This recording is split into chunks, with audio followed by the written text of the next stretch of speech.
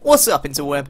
RhyQuinn here and today I'm going to be bringing you guys a very very special top 10 and this is to celebrate one year on YouTube. Now, it's been a crazy year, absolutely crazy crazy year and uh, I can't thank you guys enough. It's been absolutely an incredible ride so far which doesn't, I don't plan on stopping anytime soon. Uh, so it's been absolutely amazing, and what I'm going to bring you guys today is a top 10 showing you guys of my top 10 favorite moments from the channel, from its existence, from May the 28th last year to May the 28th this year. So, um, I hope you guys enjoy this. Uh, it's been very hard to pick 10 specific things, although a lot of them really aren't specific because I couldn't pick specific things. Um, but I hope you guys enjoy this top 10, and I just want to say that I really hope that I carry this on for future years. Uh, I really want to keep this going. I don't think I've enjoyed anything as much in my life as YouTube, and you guys have completely changed my life. Uh, I don't want to get too emotional right now, but you guys have completely, completely changed my life, and I can't thank you guys enough. So, thank you. And as a way of saying thanks, I want to look back at some of the highlights from this year, and I hope you guys enjoy. Number 10! Right, so kicking off the list in number 10, we have getting my very first subscriber. Yes, I still remember you, Michael Byrne. Thank you for being my very first subscriber. You changed my whole mindset. Seeing someone actually enjoy my videos, it was it was pretty crazy. Uh, I'd never experienced anything like it before, and it was one of the greatest feelings in the world. And it just drove me to persevere, to get that feeling again and again and again. And that is why getting my very first subscriber ranks at number 10. Number 9! And number 9, we have one that's actually really similar to the last one, which is hitting 100 subscribers. And getting 100 subscribers was a huge milestone for me. And again, it changed my mindset completely. This was the time when YouTube changed from being just some hobby into a full-blown commitment. Uh, it made me rethink. And I thought, hmm, maybe this is something I should really pursue. And God, I'm so happy I did. Um, that is why hitting 100 subscribers ranks at number 9. Number 8!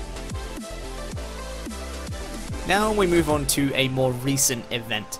Uh, Jordinez, being the absolute legend that he is, sent me his capture card for me to use.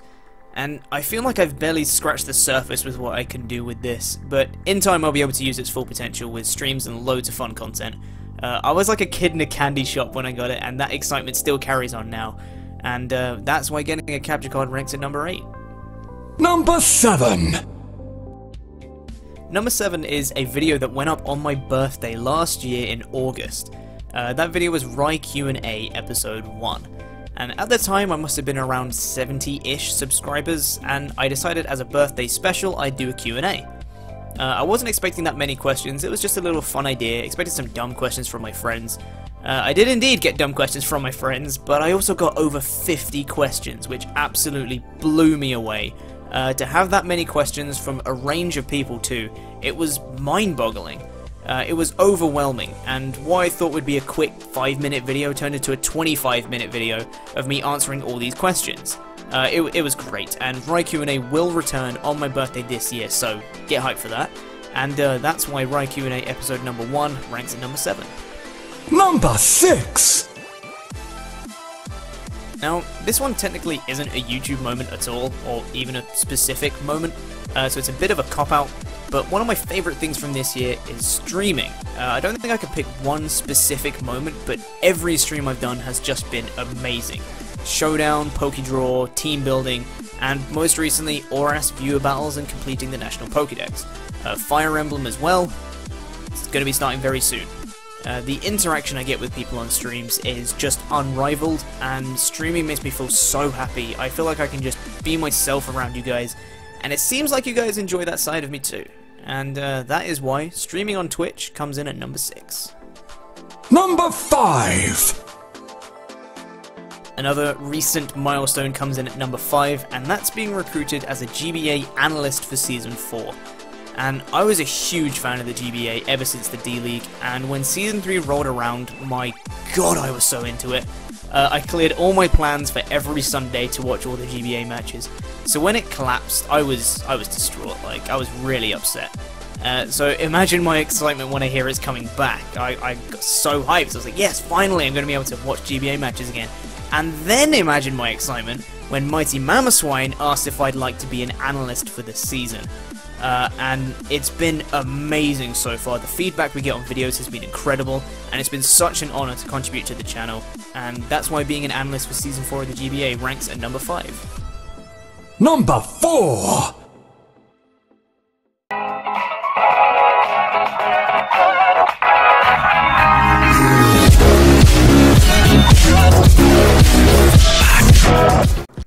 Yep, it's here. Season 2 of the Raiquiz. And there's a reason I picked Season 2 over Season 1. Season 1 was incredible, and the amount of support I received from it is absolutely insane. So when Season 1 ended, the hype was built so much for Season 2. I was so excited to start it, and when I did, people loved it. I loved it. It was amazing. It exceeded all my expectations. I got guests on it that I didn't think I would, even people I was huge fans of like Mega Mogwai and Fufu. Season 2 had to take a break, but it has returned now my headset's back. And it is going to be bigger and better and stronger than ever. Season 2 is going to end very soon, and I am so excited to conclude Season 2. And that is why Season 2 of the Raiquiz ranks at number 4. Number 3.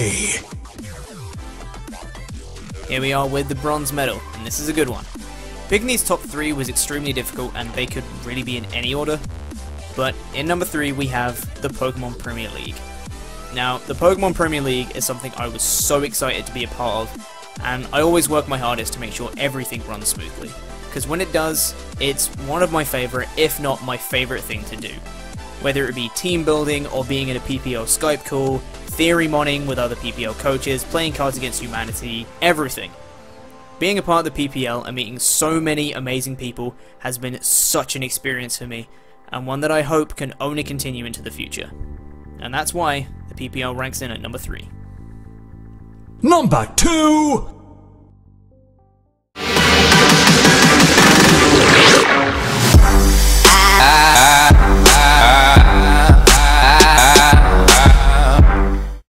Ah, finally. Here it is. The Battle Subway. I'm gonna try and not be too emotional about this one, but I, I make no promises. Uh, for those of you unaware, the Battle Subway was a collaboration channel between myself, Layson MC, Youngster Joey, Bits, Jordinez, and initially U-Turn Crobat with the addition of Amazing Tay after a couple of months as well. Uh, being a part of the Subway was my favourite time on YouTube so far.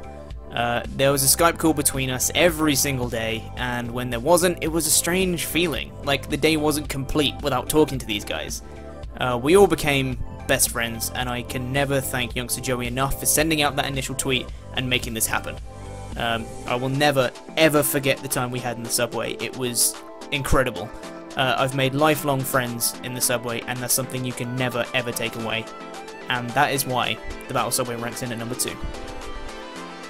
Number 1. So what can top my best time on YouTube? I present to you the biggest cop-out answer of all cop-out answers.